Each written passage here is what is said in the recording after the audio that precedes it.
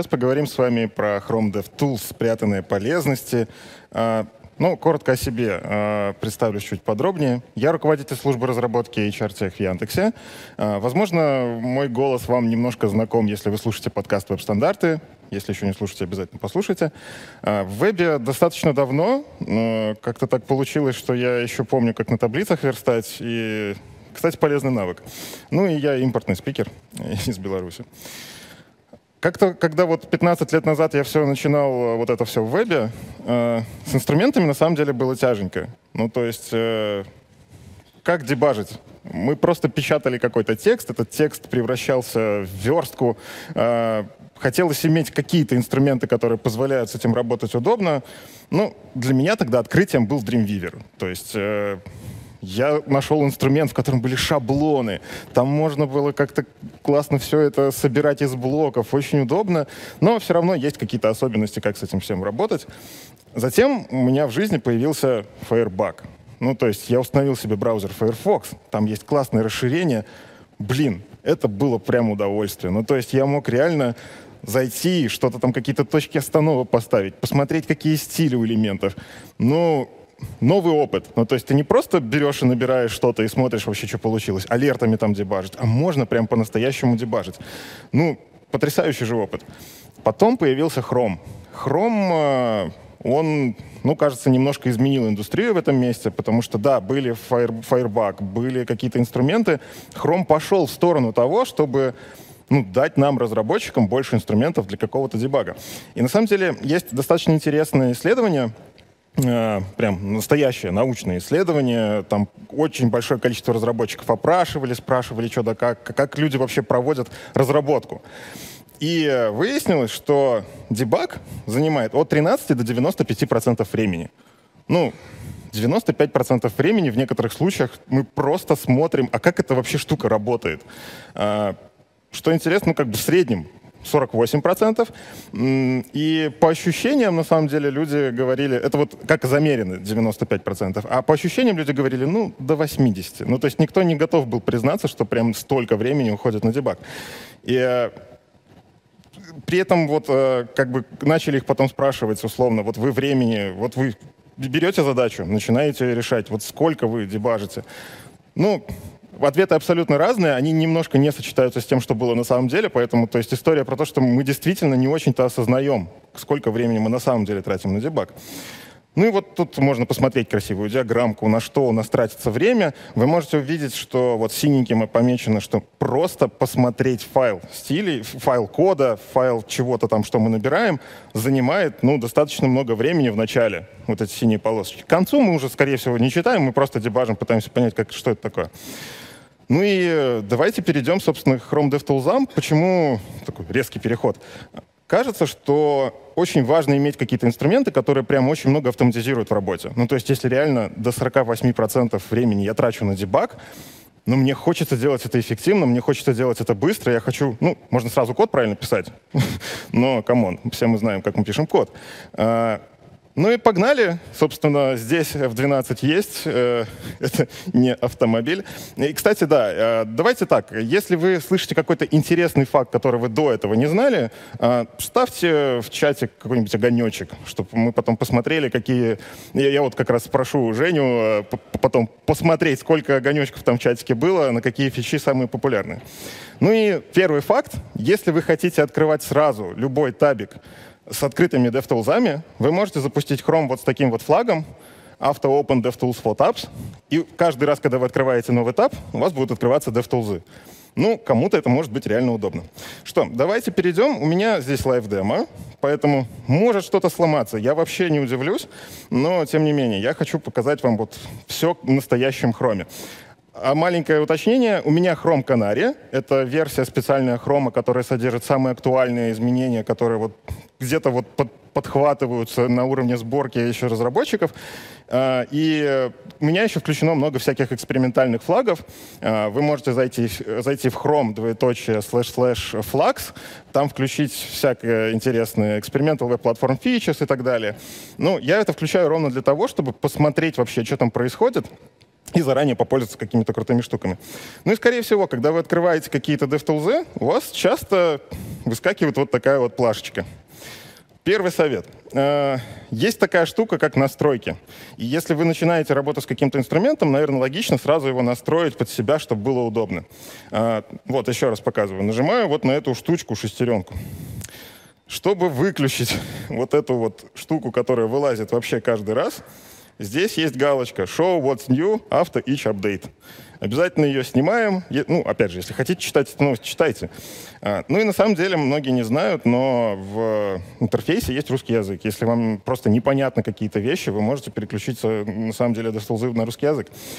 А, дальше настройте под себя все, что вот вы хотите. Правда, здесь очень много полезных всяких вещей. Вы можете найти вещи, о которых вы даже не подозревали.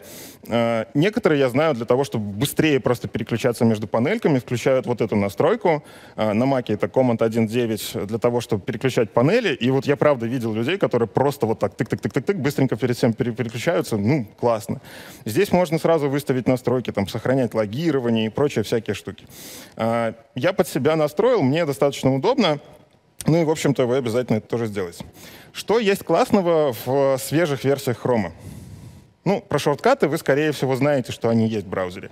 А, но вы можете, во-первых, посмотреть их, какие, на что. Ну, вот, например, консоль можно очистить по Command-K или Ctrl-L, сразу два шортката. А, на самом деле, буквально недавно появилась возможность назначить свои собственные шорткаты. То есть появился вот этот карандашик, вы на него нажимаете и назначаете шорткаты, которые вам удобны. Более того, вы можете выбрать Visual Studio Code шорткаты. То есть у вас в вашей IDE и в DevTools будут одни и те же комбинации клавиш, которые включают какие-то вещи при работе с кодом. Это довольно удобная история. Ну и я слышал про то, что здесь будет появиться больше презетов, возможно, еще совместимы с какими-то другими IDE. -шками. Ну, по-моему, прикольно. Важная еще вещь. Я буду показывать какие-то вещи, кликая здесь э, в интерфейсе, просто потому что так более визуально. Но, наверное, самая полезная вещь, которая нужна, э, которая позволила мне найти много всяких фичей, здесь есть командная палет, палитра, командная строка, в общем. Если вы сделаете Command-Shift-P или Ctrl-Shift-P, вы включаете Run Command — это вот как в VS Code вы можете какие-то такие команды выбрать. Ну, во многих IDE-шках это есть. В Chrome это тоже есть и достаточно давно. Ну и что классно, вы можете посмотреть вообще кучу всяких возможностей. Что из интересного, здесь на самом деле а, есть вещи, которых в настройках, кроме как вот через Command Palette в начале, не включить. Вот бывало такое. Сейчас по большей части есть в каких-то настройках. Обязательно просто полистайте. И вот на самом деле, вот если самая важная часть из доклада запомнить, вот запомните это. Command-Shift-P и полистать, что там вообще есть. Вы найдете очень много всякого интересного. Вот сейчас, например, языки можно всякие переключить, показывает мне. Но я буду показывать при помощи кликов. А, хотя, нет, давайте, важная вещь. Что я часто делаю? Я часто выключаю JavaScript. Ну, то есть я просто включаю эту командную панель, uh, disable JavaScript, просто сюда пишу. Мне не нужно идти куда-то там в настройки, это довольно быстро. Ну и смотрю, как сайты ломаются в интернете. Uh, потом enable JavaScript, и сайты вроде как начинают работать дальше. Ладно, давайте двигаться к вкладке Elements. Скорее всего, вы с этой вкладкой встречаетесь ну, очень часто. Тем не менее, как выяснилось, среди моего окружения многие не знают многих вещей, которые там есть. Ну, потому что мы когда-то привыкли, что вот это я научился, а что-то там спрятанное, ну, не так уж и часто мне надо. А, не все знают, но когда вы наводите на какой-то селектор, на самом деле он начинает подсвечиваться. Ну, то есть таким образом можно находить, к чему этот селектор применяется, прям визуально. А, правда, нужно подождать какое-то время, он там ждет, но тем не менее, вы можете реально написать сюда какой-то, добавить новый стиль для того, чтобы найти, а где у меня там вообще заголовки H1? И он так, оп, визуально вам посветил. Из того, что прям мало кто знает, но, по крайней мере, в моем окружении, возможно, вы знали, все вот эти стили их можно копировать. Как обычно делается? Ну, типа, выделяешь этот текст, Command-C и пошел. Но на самом деле вы можете правой кнопкой мыши... Вторая важная вещь из доклада, которую нужно запомнить. А, правая кнопка мыши в DevTools иногда открывает вам новый дивный мир. Ну, правда, здесь есть вещи, которые спрятаны исключительно за вот это вот меню, ну и вы их не находите, потому что, ну, зачем мне кликать? Так вот, здесь есть возможность копировать, например, все стили все... Ну вот, собственно, я взял, скопировал все, все, что было у элемента. Ну ладно, окей, это я могу как-то выделить и скопировать. Наверное, вещь, которая очень сильно порадует JS-разработчиков, копировать все стили как JS. И у меня получается то, что я могу вставить в инлайновый JS, который там где-нибудь в React, в JSX. Ну, по-моему, прикольная история. Я когда это узнал, просто сэкономил огромное количество себе времени. Потому что зачем это все самим головой преобразовывать? Очень удобная совместимость. Ну и на самом деле здесь из полезного еще есть, когда вы, ну не знаю, давайте ему маржин какому-то блоку добавим. Вот он начал ехать. А, смотрите, у меня здесь почему-то подсветилось зелененьким. На самом деле я включил режим, в котором э, показываются все изменения визуально. Зеленое — это то самое, которое позволяет мне увидеть, а что ж поменялось. Так вот, здесь есть э, copy all CSS changes. Я просто копирую ровно то, что я изменил при дебаге в Elements, и он это возьмет и скопирует. Он мне причем показывает, в каком файле и где чего нужно поменять. Довольно удобно. Ну ладно, это я скопировал. А можно ли где-то вообще посмотреть эту всю историю без копирования? Да на самом деле, да. Вот это вот, это вот многоточие, кебаб оно, наверное, правильно называется, за ним тоже очень много всего интересного спрятано. Перейдите, перейдите в Mo Tools, и здесь есть такая вкладочка Changes. Внутри этого Changes вы прям в git стиле видите что, где, как поменять. И это, ну, тоже штука, которая сильно сэкономила мое время. Я в свое время демками увлекался, делал всякое на CSS. Просто набираешь это все в Elements, в стиле добавляешь, и вот оно. Вот это просто берешь и копируешь правильное место. Здесь под, подтягивается не только CSS, здесь еще в том числе подтягивается JavaScript, HTML, если вы какие-то правки сделали. Ну, по-моему, потрясающая вещь. Двигаем дальше. А, наверное, наверное, вы знаете про то, что вот когда навести вот этом бокс-модуле, то подсвечивается, чему там равен маржин, бордер, паддинг. Но, оказывается, не все знают. Здесь можно сделать двойной клик на каком-то значении и выставить кастомное значение. Оп, оно поменялось. А при этом подтягивается оно, как вы видите, прям в элемент style, фигачится прямо здесь. То есть все-таки, если хотите перенести это в код, оно, к сожалению, в changes не отразится. Но тоже полезная вещь, прям коробочку потюнить. Из того, что тоже важно, мне часто помогает в работе, здесь рядышком сверху на этой панельке есть всякое интересное. Например, ну, ховеры вот эти все, я думаю, вы точно использовали для того, чтобы дебажить Active, Focus и так далее.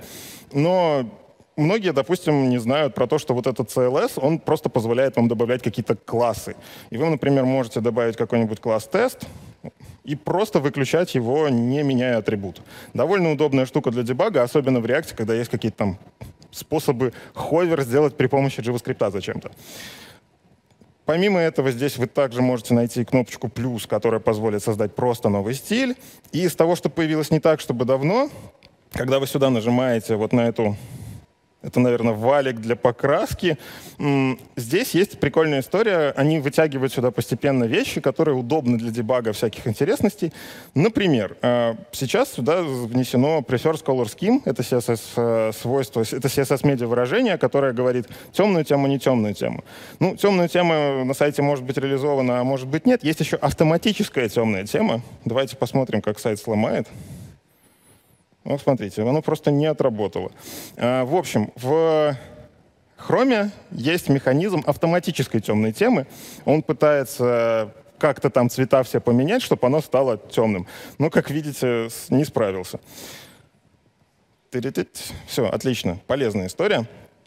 Двигаем дальше. Иногда нам нужно отдебажить какие-то анимации. Как это сделать?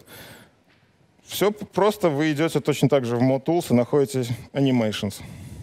Включаете эту панельку. Давайте посмотрим, есть ли тут на страничке какие-то анимации. Вот, при скролле сверху у нас там шапочка красивенько меняется. Вот эту анимацию, самое прикольное, ее можно посмотреть покадрово при желании. Он показывает вам превью того, что произошло. Он прям записывает видосик. А, отстань. Вот. И когда я на нее нажимаю, я могу посмотреть, а какие свойства, собственно, поменялись. Чем эта штука классная? Наверное, вы сталкивались с тем, что дизайнер приносит вам какую-то классную анимацию, но он ее приносит в своем инструменте, и вы пытаетесь как-то что-то вот попал, не попал, и надо отправлять на design review, чтобы он посмотрел. Короче, можно просто дать дизайнеру CSS, он придет такой, ага, вот так вот мне надо, вот сюда я подвигаю, он соберет эту анимацию и просто вам скинет код. Можно дать ему доступ к гид-репозиторию, он еще может и закоммитить. Научите обязательно. Сэкономите кучу времени. Рекомендую. Ну что, двигаем дальше.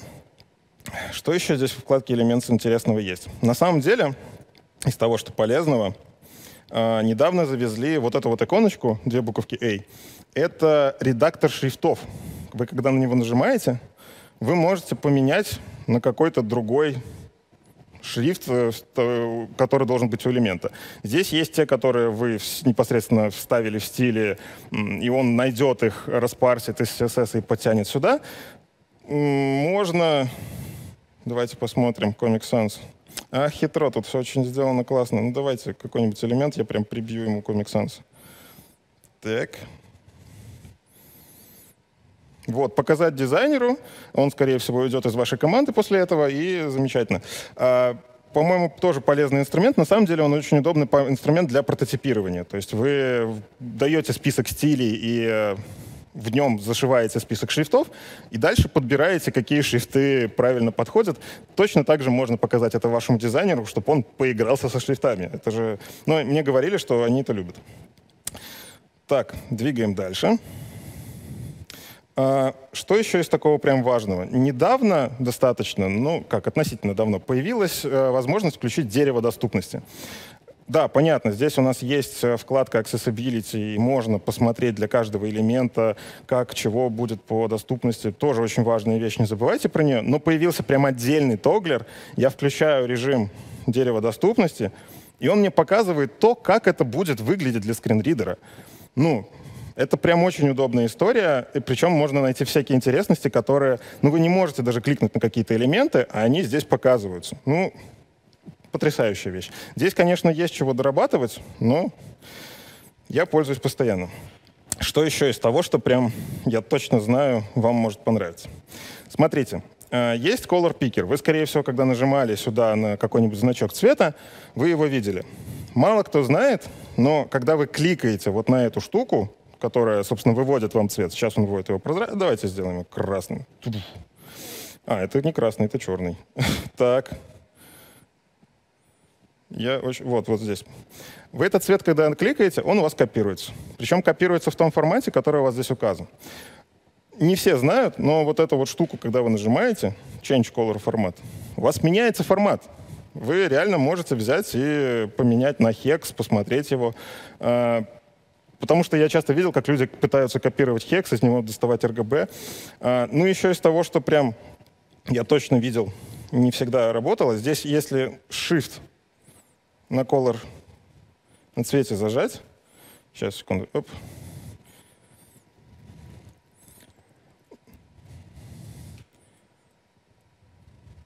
Он как... Так, ладно, подождите. Вот здесь вот эту кнопочку можно нажать, да. Color Palette — это возможность посмотреть, какая палитра у вас на сайте есть.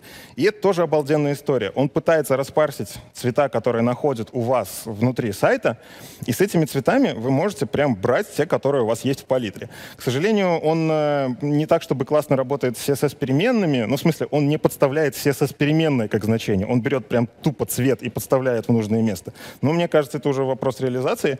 С цветовыми палитрами действительно работать довольно удобно. Двигаем дальше. А, про то, как посмотреть измененные стили, я вам уже рассказал. А, давайте поговорим про интересную вещь, которая появилась тоже достаточно недавно. CSS Overview. Я могу открыть такую вкладку. Опять же, я ее сделал через Kebab.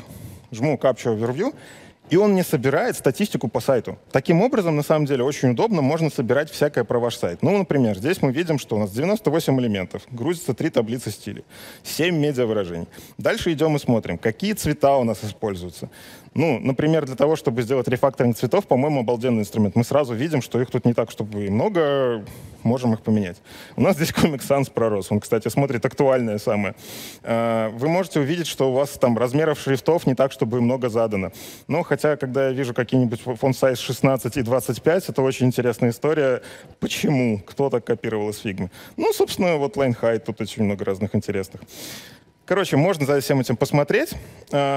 А, классно, кстати, у нас, оказывается, на сайте нет неиспользуемых деклараций. Это полезно. Но здесь можно такие вещи увидеть. То есть он показывает, что какой-то CSS вообще совсем не используется. Ну и, в общем, здесь вот мне очень нравится вот этот вот, это медиавыражение. Оно прям жестко прибивает как к чему-то. Самое классное, вы можете кликнуть а, на вот этот occurrence, и в этот момент он, по идее, должен был перейти мне к стилям. Но что-то пошло не так. Лайв-демо, все как обычно. Но на самом деле, да, я, я точно пробовал, он переходит туда и показывает вам файле. И в этот момент у меня еще даже курсор подвис, настолько все плохо. Так, давайте, 7 бет, 1 резет. Лайв-демо, обожаю. Все зависло. Воу, здравствуйте, поисковая система. А, что мы хотели? Мы хотели Yatolks? Мы хотели Yatolks. Давайте перейдем сюда еще раз и откроем еще раз. Я в новую вкладку открыл, чтобы наверняка. В общем, CSS Overview появился не так давно, но я им активно пользуюсь. Это довольно интересная история. Что еще появилось? А, вы можете заметить, что я показываю вам штуки, рядом с которыми стоит вот такая вот экспериментальная пипяка. Performance Insights — это попытка переосмысления вообще, как должна выглядеть вкладка Performance и Network одновременно. Давайте попробуем. Я надеюсь, тоже сейчас все заработает. Вот он сейчас пытается что-то делать с сайтом, крутится, вертится. Оп, сделал. Вы, скорее всего, видели вкладку Network, вы, скорее всего, видели вкладку Performance. И, скорее всего, многие, кто из вас видел вкладку Performance, с криками убегали с нее, потому что, боже, почему столько непонятных штук? Попытка переосмысления как раз-таки ровно в том, чтобы не пугать вас большим количеством графиков непонятных линий. Это все еще полезно для тех, кто прям на bleeding edge э, пользуется перформансом, но он может просто дать вам кучу советов. Вот это самое интересное. То есть он говорит, смотрите, у вас тут четыре э, блокирующих рендеринг ресурса. Э, вы, когда наводите, вы видите, какие это ресурсы. Вы можете сделать какие-то выводы. Э, точно так же он дает советы здесь внутри, как можно с этим работать. Если бы здесь было прям все очень плохо, он бы действительно сказал, почитай-ка, пожалуйста, статью, мы специально для тебя ее написали на веб-деве. А, там все есть для того, чтобы ты мог работать лучше. Советы — это вот очень интересная история. То есть теперь вам Chrome uh, DevTools не просто говорят, что у вас происходит, но и говорят, как сделать лучше. По-моему, это обалденно. Из того, что тоже появилось не так давно, но я прям чувствую, у этой вкладки есть огромное будущее. Палево. А, вы можете открыть вкладочку «Рекордер». Ее тоже надо включать отдельно, экспериментально.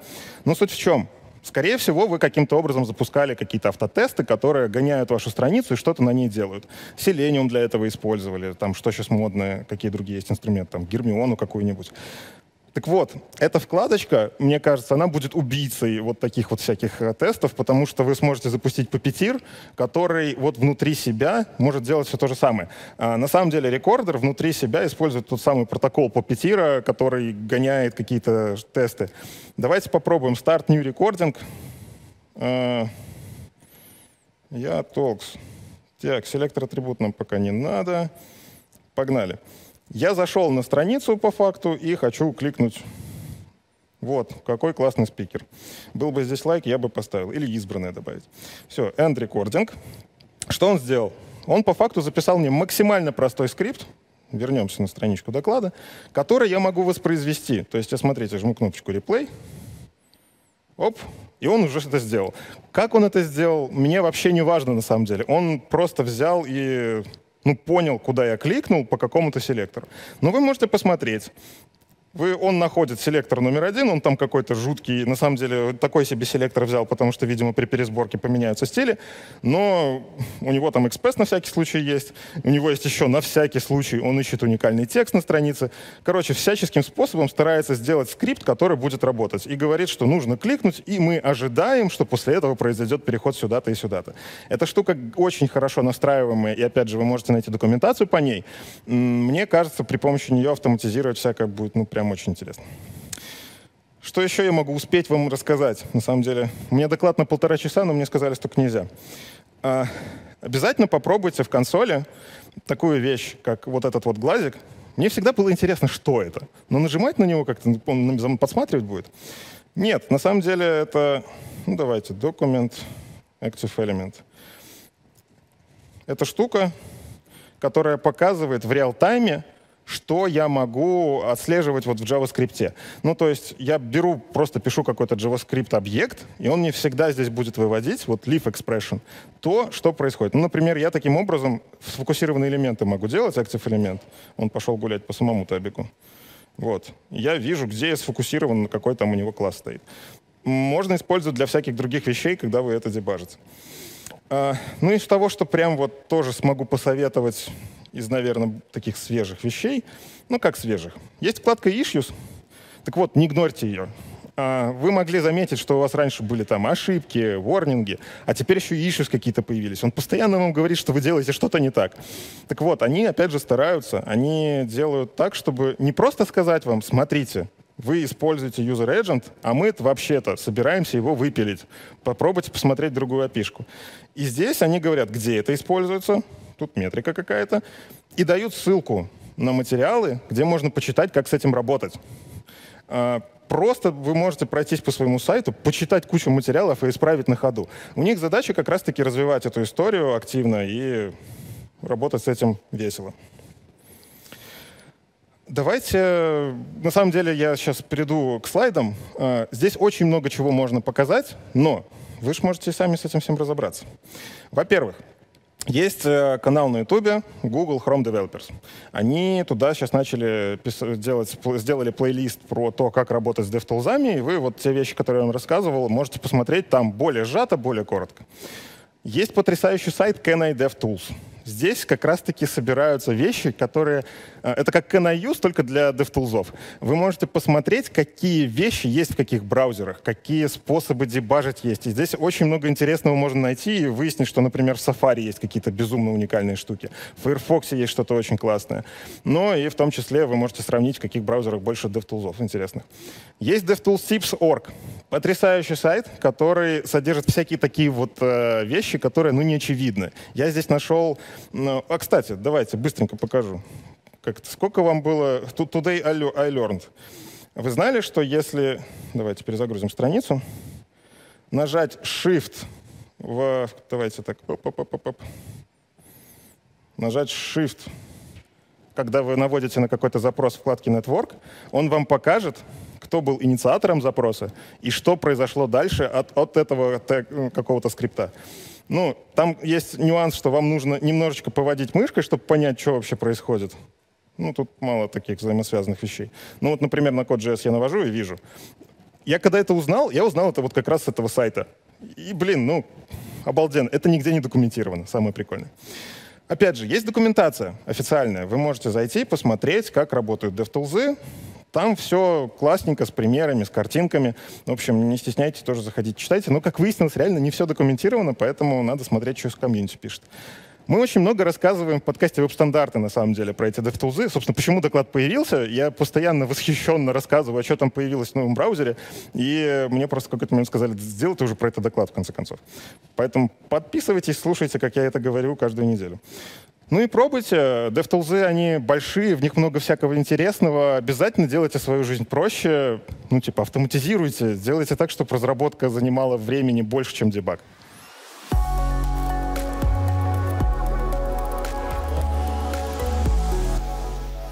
Да, сложный случай, Никита. Скажите, вот эти Chrome Chrome DevTools, они сейчас с нами в этой комнате? Да я их только что видел. А, а знаете, мне еще кажется, вот прямо сейчас, что за мной наблюдают. Да? Да. А у вас не было такого, что вот в ушах что-то, голоса какие-то. Иногда голоса в голове. И вообще дичь какая-то происходит. Не волнуйтесь, все будет хорошо. Боже, между нами ток прямо прошел. Ладно, а свои вопросы, ребята, задавайте в чате. Мы на них обязательно ответим. А также оцените нашего любимого спикера, ну, моего любимого, хотя у меня все спикеры любимые, э, Никита Дубко про Chrome DevTools. Поставьте свою оценку 10 из 10 на кончиках пальцев, о боже. Но у нас И- пятибальная система. Э, Ну, если поставите 10 по пятибалльной системе, Chrome DevTools открываешь и ставишь 10. Э, Есть несколько комментариев, есть несколько вопросов. Первый, давай я начну с огоньков, которые ты просил. Давай. Эм, Огонек про Ctrl-Shift-P. Очень классно, очень понравилось. Напомни, что это? Это открывает командную строку, в которой можно, собственно, любую команду текстом ввести. Класс, класс. А, Вопрос. Эм, Зачем отключать JavaScript? А, очень хороший вопрос. На самом деле, ну, есть такое... Я даже CSS иногда отключаю. Это весело. Ничего себе. Ну, э, я под, сторонник того, что сайт может открыться в любом месте. Ну, то есть человек, например, не знаю, едет э, в метро, у него с- там сломался интернет, потому что он, его просто нету нигде. В этот момент JavaScript начал грузиться, но не дозагрузился. Что мы видим в это время на странице? И вот такие вещи дебажить, кажется, полезно. А, опять же, иногда бандл просто слишком большой, иногда там у тебя S3 отвалился. Ну, то есть файл почему-то не загрузился. А иногда тупо ошибка в коде, которая при загрузке ломает весь JavaScript. А, Я такие вещи специально смотрю для прогрессивного улучшения. Ну, то есть я сначала стараюсь сделать сайт, который будет работать без JavaScript. Ну, совсем без CSS это уже перебор, хотя это, кстати, тоже способ э, дебажить ту же самую доступность. Типа, если я вижу сайт даже без CSS и понимаю, что происходит, ну, все, замечательно. Но это сложно. А, Короче, я иногда выключаю JavaScript ровно для того, чтобы вот это прогрессивное улучшение заранее посмотреть. Классно, классно. Ну и плюс есть еще security, всякие консерны, например. Если особо параноидальный, ты можешь отключить все, все JavaScript. Э, В том числе, да. А, причем там есть интересно, что когда вы выключаете JavaScript, он еще делает какие-то, еще что-то выключает. То ли он куки... А, нет, это когда вы куки вырубаете, он тоже там выключает, помимо кук еще и local storage выключит. Ну, в общем, браузеры о нас заботятся. Да, э, все паранойки в чате выключайте. А также еще огонечки были, понравились про copy all CSS changes. Часто забывал, что менял. В общем, э, очень, очень людям зашло. Я сам когда узнал такой, а, а почему я про это узнал только сейчас? А потом понял, что эта фича появилась как раз за неделю до того, как я про нее узнал. Слушай, мне кажется, может быть, уже пора, знаешь, так как Chrome DevTools настолько большие, пора уже делать отдельный курс. Да, вот мы изучаем JavaScript, не знаю, алгоритмы и Chrome DevTools. Спасибо за идею. Ну, на самом деле, у них же есть вот эти видео, и у них есть эм, статьи, где они пишут, что нового. Кстати, Алена Батицкая переводит на русский Да. язык эти статьи, Максим Сальников. А, то есть можно посмотреть, почитать, подписаться и узнавать про эти новости не в докладах Никиты Дубко, не в новостях веб-стандартов, а прям все читать самим. Мгм. А, Также у нас есть еще вопросы. Ам, Есть вопрос а, немножко такой. Надо ли добавлять к Chrome React DevTools, React, ну, Vue DevTools, то есть а, есть же популярные плагины. Расскажи, может быть, немножко про, про них. А, да, особенность современных DevTools, что они все поддерживают э, протоколы. Там у DevTools есть свои протоколы, как в них добавлять экстеншены. И на самом деле вы можете сами добавить что-нибудь отдельной вкладкой. Там нет возможности в текущую вкладку как-то вписаться, но отдельную вкладку свою написать можно. Собственно, React DevTools, и Vue DevTools и прочие всякие, они ровно так и сделаны. А, по факту это браузерное расширение. В чем суть? Я считаю, что если вам что-то ускоряет работу, если что-то действительно делает быстрее, ставьте. Но всегда есть нюанс. React DevTools, когда загружаются, они, ну, performance с ними лучше не мерить, потому что они тоже подгружаются на страницу, внезапно bundle большой откуда-то. А, это на performance влияет. То есть тут надо понимать, как это работает. Мгм. Тут э, есть э, вопрос. Я его немножко э, не понял, но ты, наверное, поймешь. А Где дебажить, на Яндексе или на Chrome? Наверное, имеется в виду Яндекс, Яндекс браузер. Яндекс браузер или Chrome. Но смотрите, на самом деле прикол в том, что Яндекс браузер под капотом содержит Chromium, и насколько я знаю, что ребята из Яндекс браузера в том числе контрибьютят в Chromium какие-то вещи, и там, например, с э, рендерингом они делали крутую штуку, которой теперь пользуется весь мир. А, Но по факту Яндекс браузер из-за того, что ждет, э, когда Chromium соберется там основной ветки, он чуть-чуть запаздывает. Поэтому, если вы хотите самыми современными DevTools пользоваться, ну, я типа это делаю в Chrome. Причем вы могли заметить, типа, Chrome Canary. Желтенький. То есть я там беру просто версию, которая может, могла у меня сейчас сломаться э, во время доклада, а у меня уже такое один раз было, ну, потому что она там обновилась, и там все сломано. Но при этом там есть экспериментальные флаги, а в Яндекс браузере эти флаги тоже, кстати, можно зайти э, подключить, но они немножечко запаздывают. Ну, короче, дебажить там, где вы работаете, на самом деле. Ну, типа, если вы сайт смотрите Яндекс браузере, ну, дебажьте там. Очень странно mm-hmm. это делать в другом браузере. У нас есть э, комментарий, комплимент. А, после такого доклада вопросов не остается. Чисто ради него буду теперь смотреть веб-стандарты. Но Классно. смотреть веб-стандарты есть нюанс. Мы звуком выходим. Но да, на ну, можно смотреть, да, можно смотреть звук. полтора часа.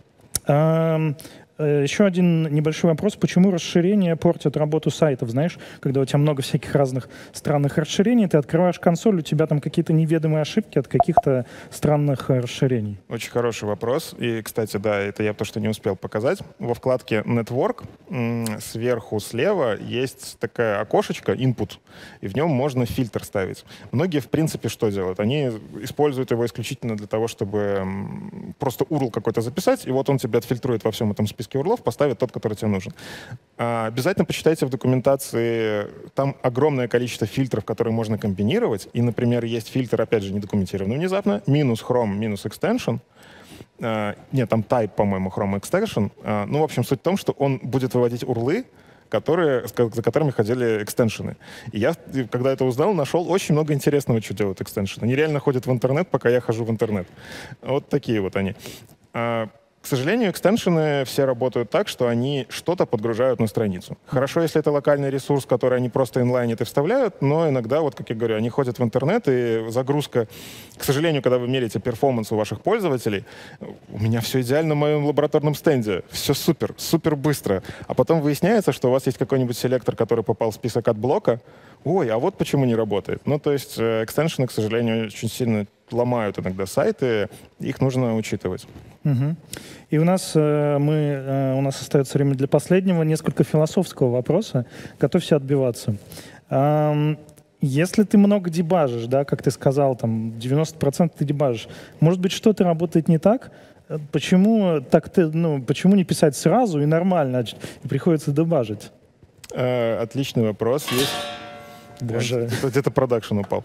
А, но на самом деле это нормальная история. По всем э, там разным есть исследованиям. Мы все равно читаем код больше, чем его пишем. Мы все равно дебажим больше, чем его разрабатываем. Потому что мы работаем в команде. У тебя есть люди, которые пишут код, у тебя есть люди, которые его читают в команде. Мы меняемся фичами. И ну, ты не можешь сразу прочитать идеальный код, понять, что он делает. Ты, скорее всего, поддебажишь, чтобы понять, что он делает. Опять же, в команду прилетают баги. Ну, если человек, там, который задал вопрос, пишет сразу без багов, ему большое уважение, но я бы покрыл тестами его код и посмотрел, действительно ли так. Может быть, это не человек пишет, а AI-чат-бот? Сейчас и я и такие стали, что ты себе не представляешь. Кстати, ты видел, тут э, новые, новые, новые боты появились. Ну, не боты, а AI. И скоро все, скоро не нужно будет код писать. А, ну, кто-то же должен будет потом баги править за этим AI. Или написать AI, который находит баги. А потом AI, который... Ну, и, в общем, и пошла жара. Будем писать AI? Да.